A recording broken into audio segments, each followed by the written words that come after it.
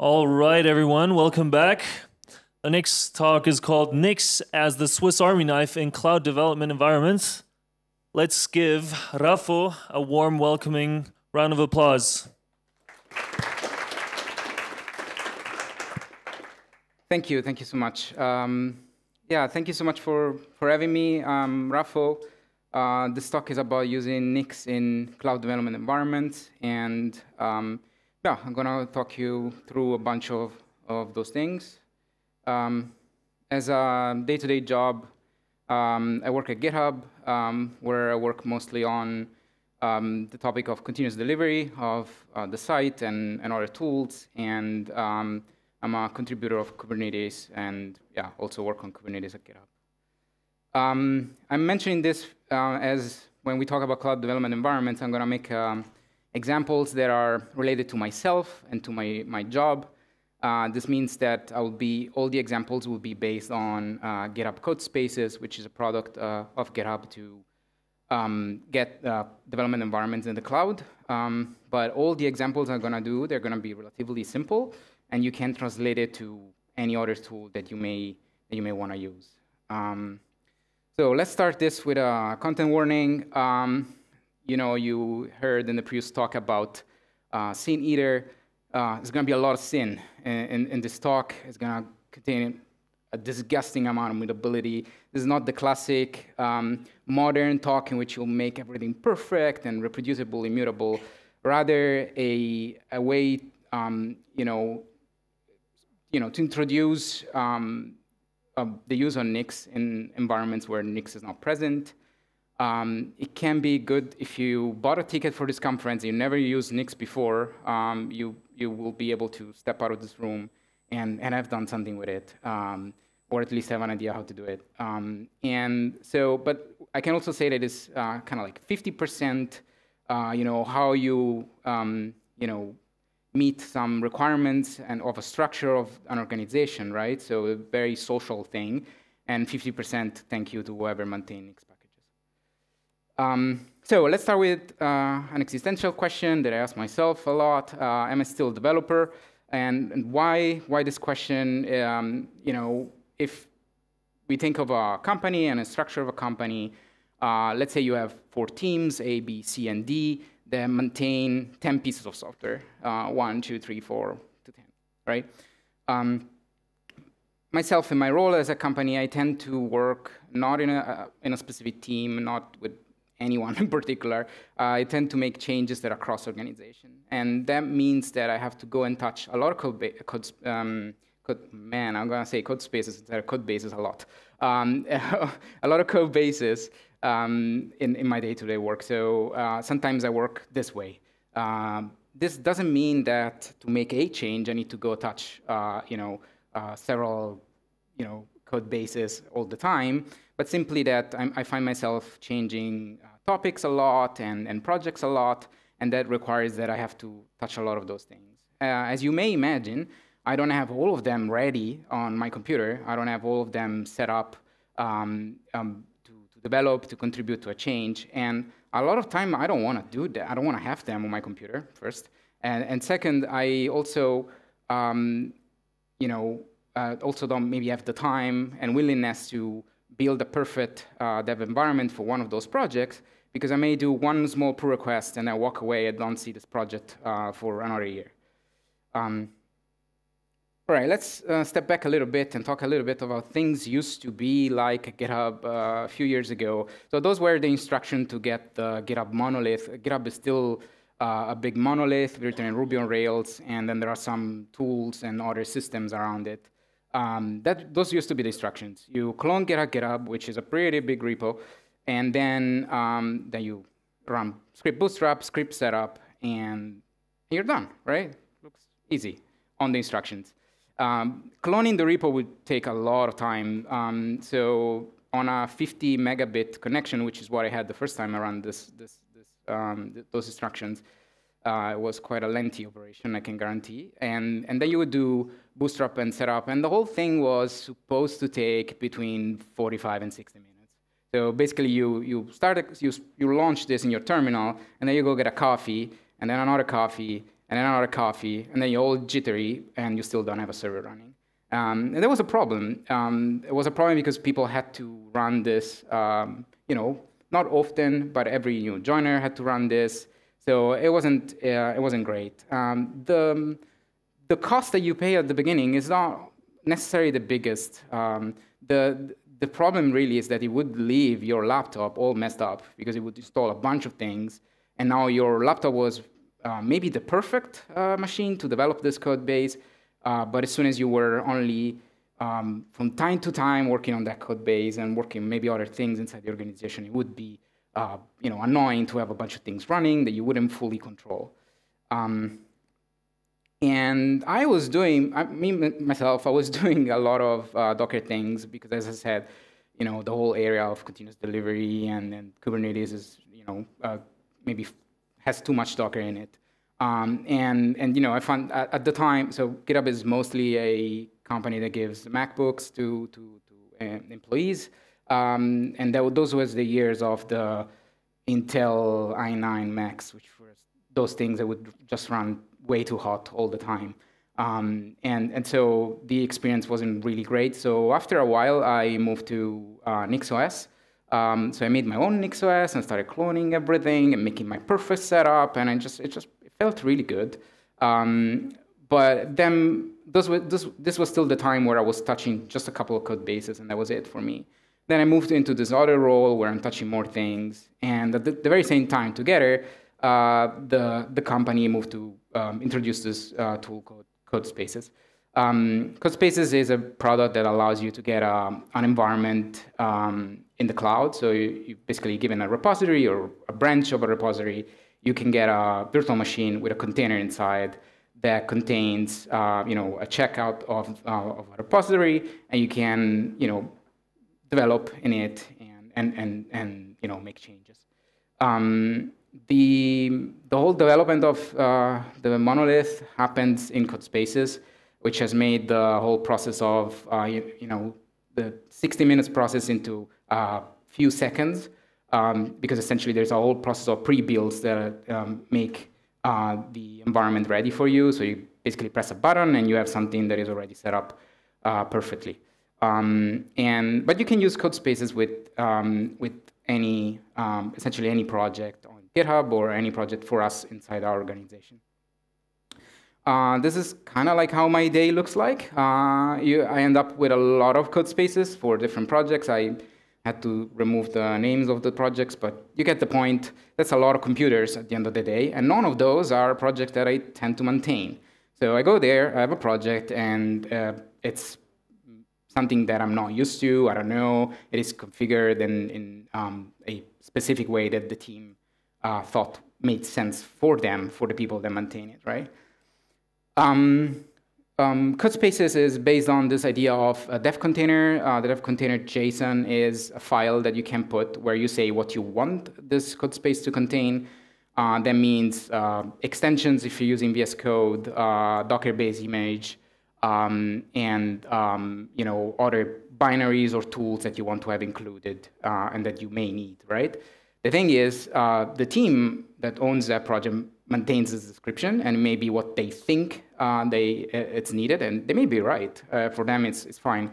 But me coming to this project once in a while, um, I may have other preferences and things that I like that uh, you know I, I want to use. Um, so I think one setup per project is not going to fit everybody's preferences. We're all different, and we all like to do things in slightly different ways. Um, and this famous dream of a standardized development environment uh, inside an organization makes sort of sense, right? Because you, at the end of the day, you want people to be able to be productive in a quick way, but you also don't necessarily want to limit the possibility of customization. Um, random example from the internet, I don't know who this user is, this is from Battle Stations uh, subreddit. Uh, you know, this is that doesn't look like my desk at all, uh, right? And it's just uh, it, someone took their time to develop their, their environment, the physical environment, right? And the same should be possible in, in, in a software uh, world, in a cloud environment, where you should be able to bring what you need to do your job at best. Um, so at this point, is the standardized development environment really a dream, right? It is for an organization, as I said, but uh, you know, as long as you're able uh, to bring what you need uh, to do your job at best. If you remember this, um, this picture that I showed you earlier, this is kind of like how I operate. And if you think that all of those software there are standardized in one way, uh, and I may have a different perception of what I need or the tools that I prefer, um, for example, like a lot of this development that happens happens in uh, normally via VS Code. I may want to use Vim, uh, right? And maybe it's not there, and I may find it extremely annoying. Um, so that's that's simply a preference uh, and, and and nothing else at the end of the day. But it may be extremely um, uh, important for me and for how I, I, I do my job. So I, need, at this, in this case, I needed to take all of those environments, right, uh, that um, maintained by other people that for me are kind of like those alien environments. come there and have um, a Swiss Army knife, like a way to bring my customization with me um, and, and to apply them, um, you know, on the fly uh, so that I can do um, my job at best. So for me, that tool is Nix. Uh, and uh, mostly because of this, right? Uh, I don't know if those numbers are correct. I don't know if they're up to date. And I've heard, I've read a lot of controversy on yeah that's right that's not right. It, it doesn't matter. Like uh, this picture means uh, uh, Nix uh, you know with Nix you get a lot of packages. That's that's what I care about this this picture really. Um, and I think we can agree that that's the truth. Um, and in those in, in that context of um, environments that are not my environment uh, it's someone else's computer um, I can I happily use Nix uh, as a package manager essentially to add um, you know, as many, um, as many things as I need uh, to do my job. Um, so uh, how does it work? Uh, and I'm going to take a sip of water. Codespaces has this concept of, um, so when it starts, when you create a new code space, it's going to uh, clone your dot files uh, repository. So you can configure a repository as your dot files repository. Um, and when it starts after cloning that repo, it will search into that uh, repository for one of those files that you see in the slide. Um, and if one of those files is present, it's going to uh, run it. Uh, in my case, I have a setup.sh file that contains some instructions. In my case, the instruction is install Nix. So every time I get to what essentially is someone else's computer set up in whatever way they thought made sense for the project, um, whenever I create a code space for that project, um, when I run it, uh, I'm gonna get Nix installed. And that means um, that opens up for me, like for a number of opportunities to configure and extend that environment on the fly as much as I want. And I guess you're getting where I'm going with the disgusting mutability at the beginning. Um, so essentially my work is like this. I have a laptop, this laptop, um, and um, I have n code spaces can be 20, can be one, it doesn't matter. Um, when they start the, the, for the first time, they run setup of setup.sh uh, from the dot files. I install Nix, and then I use Nix to, uh, as a package manager to extend uh, that environment. Um, for me, it doesn't really matter uh, if how reproducible or not it is, which may be controversial in this room, uh, because as I said, I go there and those projects make one change uh, for a while and then possibly walk away and never come back on that project again. Um, and I just really need a way to quickly uh, get something up and running and, and do something else that is not, uh, what was the Debian repo uh, that I have to add, uh, which I, um, I don't necessarily know how to do. Um, so I have a demo. It's a video because I don't trust uh, Wi-Fi is at conferences, um, but I'm gonna walk, I'm gonna talk through it. Um, so, um, hope this is gonna work. Yes. Okay. Cool. That's um, GitHub UI. Um, that's a um, um, private repository called NixCon, NixCon in my organization. Um, in my user Raffo, um, and it's empty. It just has a README. There is nothing. There is no dev container. There is no customization at all. What um, I do here is I go click the green button. Uh, I get a code space. I go do new with options because otherwise I get a super, super small code space, which is mostly good for reading, but I wanted something uh, slightly better because why not? Um, and um, I click the button, and what this is doing is, you know, start in this case, VS Code, uh, fetches up stuff. And you can see at the bottom, although I, I know it's maybe hard to read from the back, uh, but it's saying installing dot files. And that step uh, is doing installing my dot files. Uh, once that is done, this is slightly, obviously, slightly sped up. Uh, you get a code space. It's relatively quick. Um, and what I'm going to do here, um, I'm going to do, I'm writing kind, which is a program that is used in the, in the Kubernetes ecosystem to get a local Kubernetes cluster. It doesn't really matter. It could be anything. I, I did this because I know it's definitely not present. Um, and you can see it's saying like command not found, so uh, kind is not available. Um, but um, if you see me here um, typing Nix, you can see that Nix is available. Again, this is zero customization, just through the dot files, I'm getting Nix up and running. Imagine me going in someone else's project and be like, oh, I want to test this thing, and they didn't set up anything, which happens. Um, so what do I do now? Um, I can do Nix, and I can do a disgusting Nix env-i and get kind installed. It's going to take a while, pull half of the internet, because why not? Um, and, and then I have kind up and running, right? So now I got a new code space. So you see the old one is still running. Um, um, I do the same dance, um, and uh, I type kind. And I'm back where I started.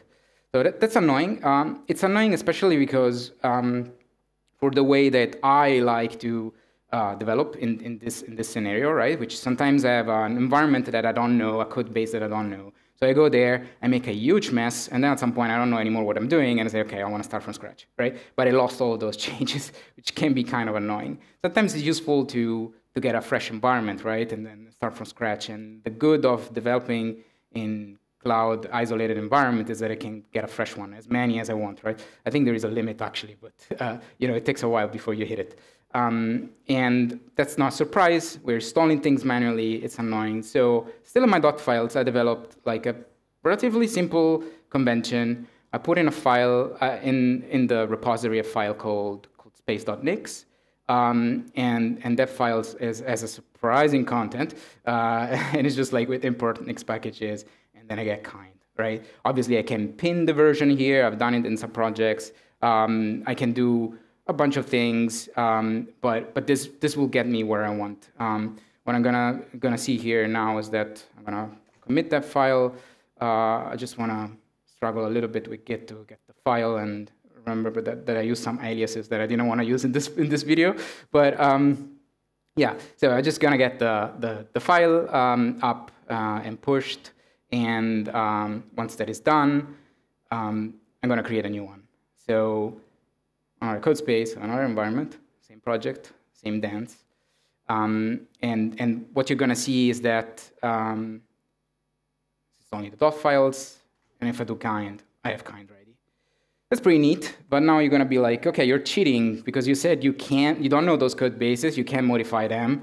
But now you're, gonna, you're going there and you're putting a file in their repo. Well, some people may be fine with this. Uh, with you know, I'm bringing my convention. They don't care. It's a file they never heard of or package manager they never heard of. But uh, there is a more scalable approach that I'm also using. Um, what I mentioned at the beginning is that there is this uh, dot files repo that gets cloned, and in that repository, uh, you can have whatever you want. It's your repository. Um, in that case, I, I have this uh, simple convention where I have um, um, you know a folder called like the name of the organization case is Raffo because it's my own thing, but it could be GitHub or the name of your company. And then I put a file uh, that contains the name of the repository .nix, right? Um, in this case, I'm going to create a file called nixcon.nix, which is a lot of nix in, for, for, one, for one word, um, and put the very same content, right? Um, what um, this is going to do is um, essentially, you know, again, same content. Maybe can skip forward a little bit as there is like a little bit of adding things. Now I create another code space. Um, important point, the code space space.nix file here is gone. So this, this repo is back to the original state where there's only a README. So create, oh, wow. Um, I think I messed this up. One second, we go back where we were. So we create um, another code space, and and you will see that um, if I go here, it's loading and doing whatever. Again, sped up quite a bit. It's Installing the files. And if I do kind, it's there, but the files is not there. So essentially, uh, what this is doing is um, using the fact that I have an external repository that's being cloned to this cloud machine to add um, an external to add um, other packages, right? This is not a very reproducible setup, but um, uh, has been incredibly useful for me uh, in the day to work, in my day-to-day work, and going and modifying um, other people, what is essentially other people's projects when you can't bring a ton. And um, that's what powers this. line of bash is disgusting, but it works. And um, there are probably better alternatives, like Nixdel, Flakes, DevEnv, and a bunch of other tools that you may be hearing about today and tomorrow and in the other days. Um, but um, that's what uh, took me quite forward, um, and I've been using this for a while before Flakes were a thing and, and so on. Um, right, so uh, takeaways. Uh, well, first of all, Nix is a great package manager. It has a lot to offer, um, and you can use it to um, you know, install whatever you want and customize your, your environment as, as needed.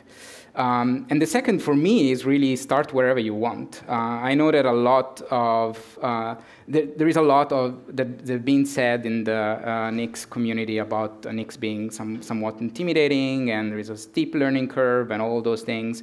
Uh, but you're not forced to do the perfect setup all the time. You're not forced to use anything uh, at, the full extent and maximum modern way, you can start with, the, with a simple approach. Even, even if this simple approach is I just install things manually and thing, until things work, if that is right for you. Um, and I have tried other approaches, obviously, but I wanted to really keep uh, like this, this simple approach as an example of something that can get you started. Um, and the third is you should be free to customize your computer, and that I think uh, that's also very important. Like uh, it, there is no one way, one right way to do things. There is no one right editor. There is um, nothing that, that should make you feel forced to uh, keep one way of doing things if that is not the right way uh, for you. And I think that was it. If you have any questions, I'm happy to take them.